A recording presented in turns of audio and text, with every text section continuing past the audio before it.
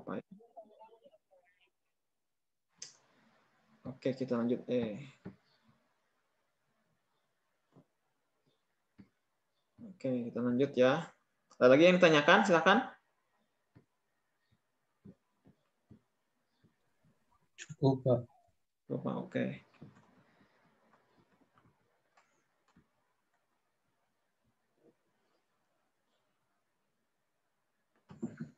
Bentar ya.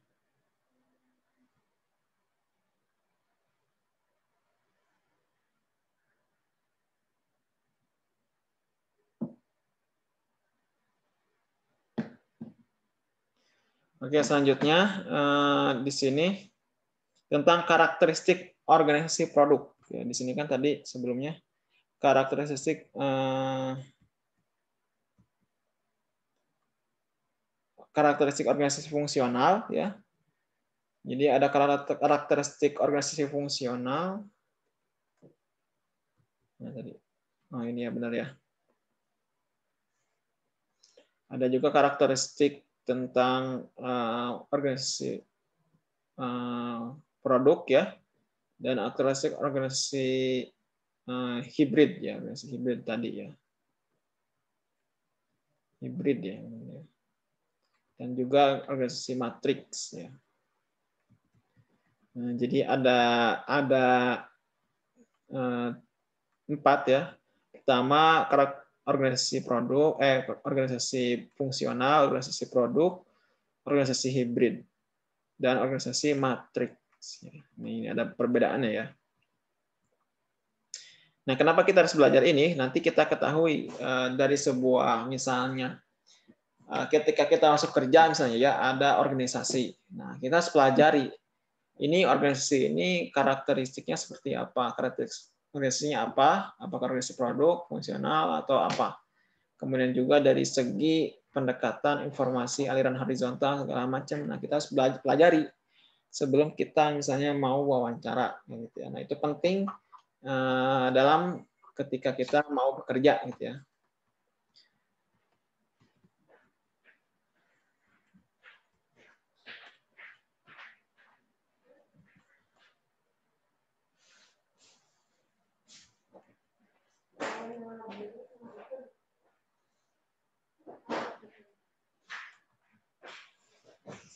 Nah, ini ya tadi dari segi struktur, lingkungan, teknologi, ukuran dan tujuan. Tujuan operatif, perencanaan dan penganggaran, kewenangan formal, manajer fungsional ya. Jadi ini karakteristik organisasi fungsional ya. Kan tadi definisinya udah ya. Struktur fungsional ya.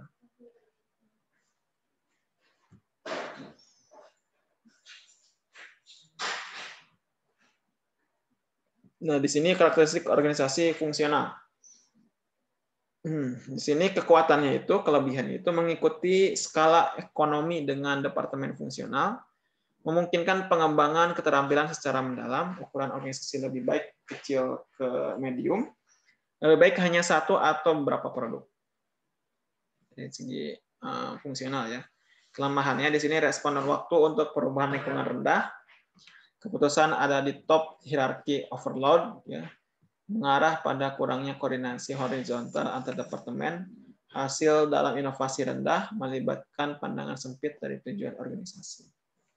Dari segi kelemahan kekuatan dari karakteristik organisasi fungsional. Selanjutnya di sini ada struktur produk ya struktur produk digunakan sebagai kerangka umum disebut juga divisional eh, structure atau self contained unit ya. struktur produk mempromosikan fleksibilitas dan perubahan karena masing-masing unit kecil dan bisa beradaptasi dengan tuntutan lingkungan. Ukuran besar selalu diasosiasikan dengan struktur produk. Nah, jadi ini ya, kalau tadi kan fungsional itu dia Eh, lebih kepada eh, pengembangan keterampilan gitu ya. Eh, kemudian juga di sini dikelompokkan bersama fungsi umum dari bawah ke atas. Ini seperti organisasi akademik lah ya, salah satu contohnya ya. Nah, tapi bisa juga organisasi lainnya ya, tergantung penggunaannya. desainnya, desain strukturnya ya. Nah, kalau di sini struktur produk itu salah satunya uh, adalah fleksibilitas dan bisa beradaptasi dengan baik karena dia struktur produk yang bagaimana uh, dia itu dalam strukturnya itu sesuai dengan kebutuhan dari lingkungan yang ada. Ya, makanya selalu membuat inovasi-inovasi berbeda dengan fungsional. Ya. Nah, di sini ada karakteristiknya dari struktur produk, ya produk jasa ataupun barang ya. Lingkungannya ketidakpastian moderat ke tinggi perubahan ya. Ketidakpastiannya moderat ke tinggi ya perubahan. Teknologinya non rutin, interdependent uh, tinggi ya. Ukurannya besar gitu ya, ukurannya besar. Kalau tadi kan kalau fungsional ya kecil ke menengah ya ukurannya ya. Nah, bisa dilihat. Kemudian juga tujuan efektivitas eksternal, adaptasi, dan kepuasan klien. Ya. Efektivitas eksternal, jadi bagaimana eh, produknya keluar itu berjalan dengan efektif, ya laku di pasaran, bisa beradaptasi dengan lingkungan, ya karena uh, kayaknya produk ya harus habis, harus laku, maka dia harus bisa beradaptasi dengan kebutuhan masyarakat, ya apa yang diinginkan. Kemudian di sini yang jadi tujuan juga adalah kepuasan klien. Kalau klien puas, maka itu akan berefek kepada struktur organisasinya semakin besar dan semakin diminati oleh masyarakat luar. Karena ini berbasicnya basic pelayanan ya basic pelayanan apa yang dibutuhkan masyarakat. Nah sistem internalnya itu tujuan operatifnya itu menghasilkan produk yang jelas ya.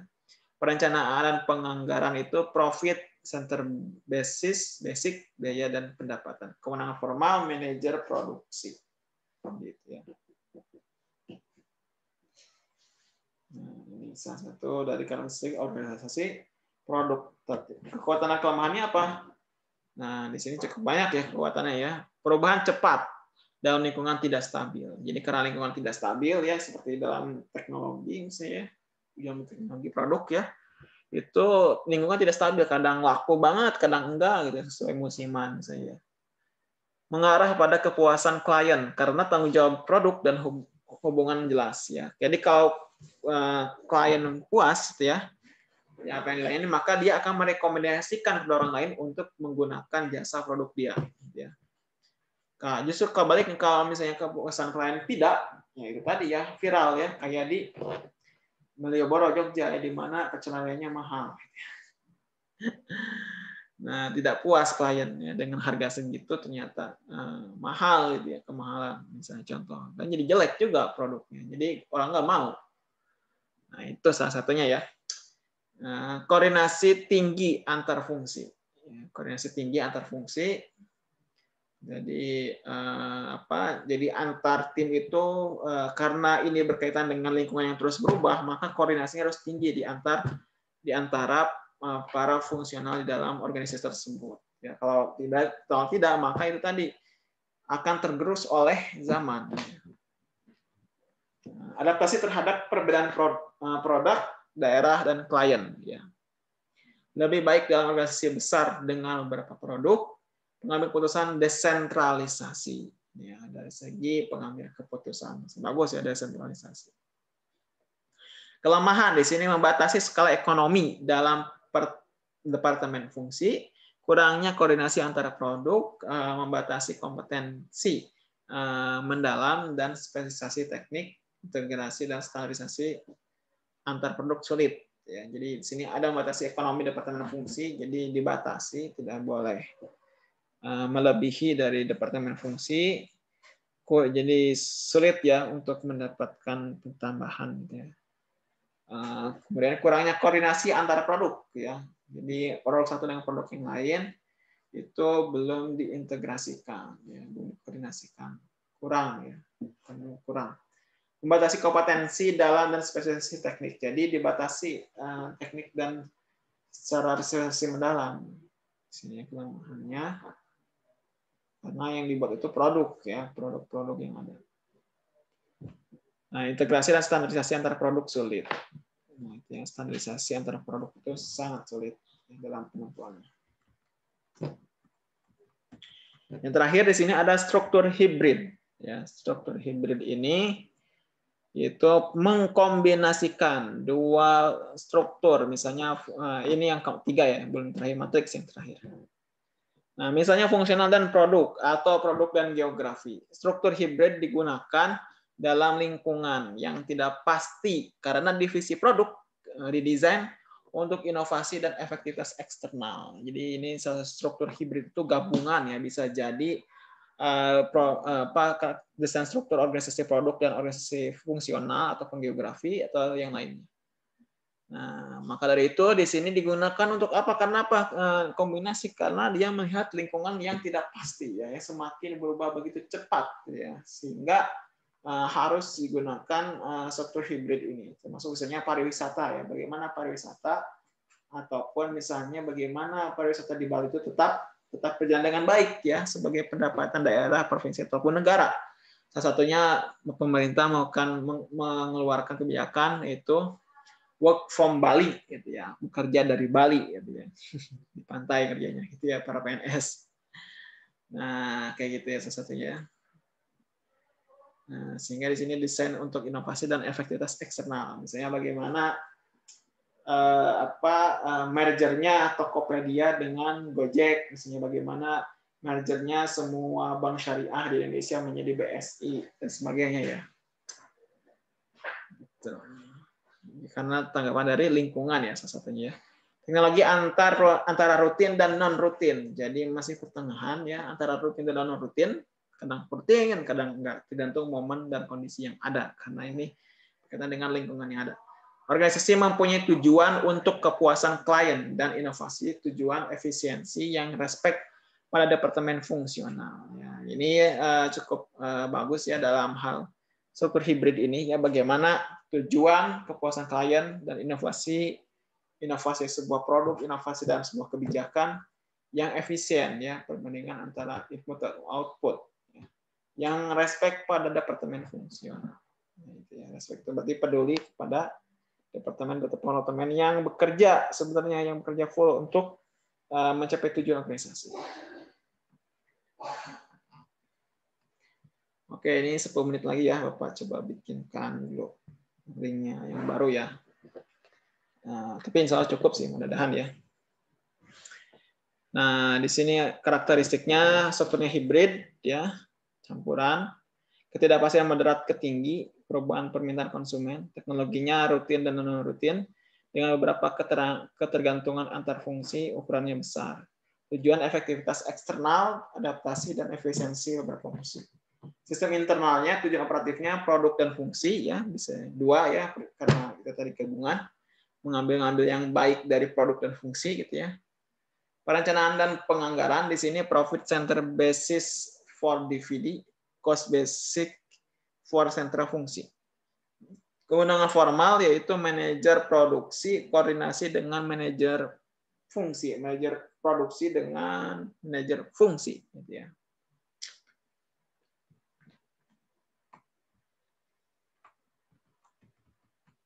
Nah, di sini ada kekuatan kelemahannya. Kekuatannya itu di sini hybrid itu adaptasi koordinasi dalam produk divisi dan efisiensi dalam uh, departemen sentral menggunakan kesepakatan terbaik antara tujuan level corporate dan level divisi. Koordinasi antara beberapa produk. Kelemahan di sini potensial terjadinya administrasi yang overhead. Ya, kan kebanyakan di atas gitu ya, ternyata overhead itu ya, atau di bawah Eh, mengarah pada konflik antara divisi dan departemen perusahaan. Ya, yang tentu tidak diinginkan dalam organisasi ya konflik eh, yang bisa berujung kehadiran dalam organisasi. Ya. Yang terakhir di sini ada ini ya eh, struktur matriks. Ya, struktur matriks itu cara lain untuk mendekat mendekati fokus pada outcome yang multiple adalah dengan struktur matrik. Ya, matrik dapat digunakan ketika satu sektor dengan sektor lain berubah sangat cepat. Ya. Struktur matriks mengkomunikasikan dua struktur, misalnya fungsional dan produk atau produk dan geografi yang diimplementasikan secara simultan. Ya. Kemudian juga yang unik dari struktur matrik adalah merefleksikan bahwa beberapa pegawai memiliki dua bos, ya, yang menunjukkan adanya manajemen klasik. Satu. Nah, di sini struktur matriks eh, lingkung, lingkungannya ketidakpastian tinggi, ya ciri-cirinya teknologinya non rutin, beberapa ketergantungan, eh, kemudian moderat dengan sedikit produk, Eh, dua inovasi seperti dua inovasi produk dan spesialisasi teknik. Sistem internalnya tujuan operatif, eh, kesamaan produk dan fungsi, perjalanan anggaran, dual sistem fungsi dan produk, kewenangan formal, join antara fungsi dan produk.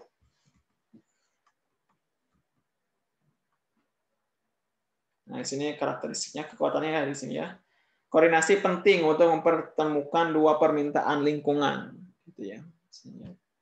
Jadi penting bagaimana uh, koordinasi penting ini, gitu ya, bagaimana kekuatan uh, dari organisasi matrik dia bisa memberikan uh, pengaruh, gitu ya, yang penting kepada uh, permintaan lingkungan.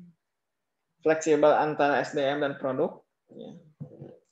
Nah, di sini fleksibel fleksibel ya sifatnya tidak kaku. Keputusan kompleks dan perubahan teratur dalam lingkungan yang tidak stabil. Peluang skill, eh, fungsi dan produk berkembang lebih baik pada ukuran medium multiple produk. Nah, di sini kelemahannya partisipasi dua kewenangan akan frustasi dan bingung karena dua kepemimpinan ya, dua permintaan sekaligus ke kalau apalagi kalau bertolak belakang ya perintahnya.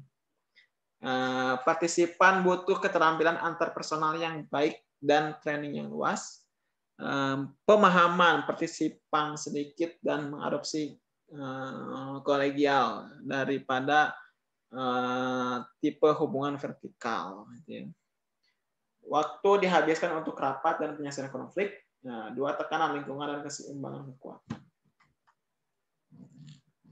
Gejala gejala defisiensi struktur struktural, mengambil keputusan mengurangi kualitas, organisasi tidak merespon inovasi perubahan lingkungan dan terlalu banyak konflik. Nah, ini ya. Jadi ini salah satu organisasi matrik karena dia itu eh, apa eh, digunakan seperti dalam adaptasi yang eh, perubahan lingkungan yang cukup besar ya kemudian ada dua dua lingkungan atau dua orang bos gitu ya, yang di mana dia memerintahkan kepada satu orang gitu ya sehingga itu menjadi kelemahan ya dalam organisasi sehingga kekuatan gitu ya. Nah jadi itu eh, ada berapa tadi? Organisasi fungsional organisasi produk organisasi hibrid dan organisasi matriks. Ya yang tapi yang paling umum adalah biasanya gitu ya di seluruh organisasi itu hybrid ataupun matriks ya. Jarang sekali misalnya uh, yang murni organisasi produk dan murni organisasi fungsional. Kayak gitu dari Bapak ya. Mudah-mudahan ada manfaatnya. Semoga uh, bisa bermanfaat. Kalau ada yang ditanyakan silahkan. Enggak kalau ada yang ditanyakan tentang karakter, apa desain struktur organisasi dari dari situ. Jadi itu kalian bisa buat struktur berdasarkan yang tadi ya ataupun melihat perusahaan itu seperti apa karena kalau misalnya apa kalau pemerintahan mah jelas ya satu jenis lah semuanya sama ya di organisasinya fungsional yang stabil. Nah, maka itu sama dosen juga ada nama jabatan fungsional, ada jabatan struktural. Kalau jabatan struktural, dekan, wakil dekan, prodi, ada jabatan fungsional ya, seperti misalnya guru besar ya profesor ya guru besar rektor atau rektor kepala dan sebagainya. Nah, jadi ada juga campuran hibrid gitu ya ataupun matriks campuran antara hibrid ya apa uh, campuran tentang produk dan fungsional dan sebagainya. Jadi itu salah satu desain strukturnya. Gitu ya. Kalau misalnya nanti ada yang bekerja di situ bagus tuh ya mengenai desain struktur organisasi. Nah, itu dalam menggunakan struktur. Bisa nah, dan itu berdasarkan eh, lingkungan ya. Jadi misalnya nih ADP ya bikin apa ADP Himape ya. organisasinya HIMAPE, nah itu harus melihat strukturnya itu dari segi lingkungan, ya lingkungan yang ada. Nah dari segi level juga fungsionalnya dilihat, level senior dan yang lainnya ya dari segi pengembangan SDM dan sebagainya.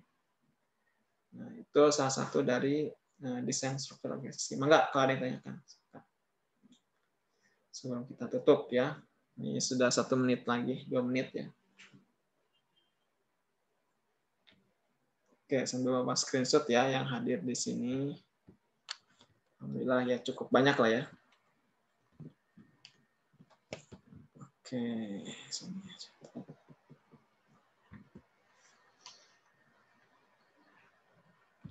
Nah, udah. Oke, kalau tidak ada uh, yang ditanyakan lagi, dicukupkan ya.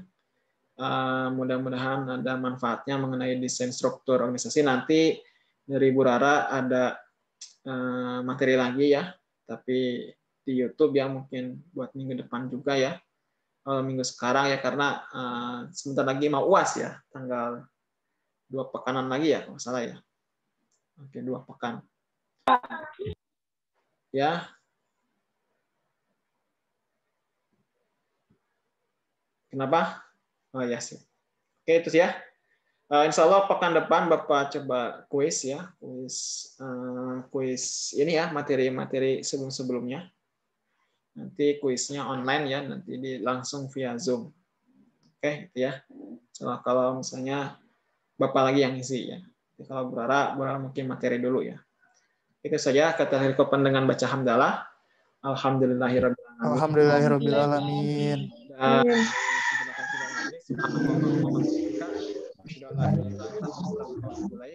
Eh, terima kasih sudah hadir ya. Assalamualaikum warahmatullahi wabarakatuh. Waalaikumsalam. Waalaikumsalam warahmatullahi wabarakatuh. Terima kasih Pak. Sehat, Pak. Bapak nanti materinya di-share kan Pak? Ya, ya, siap.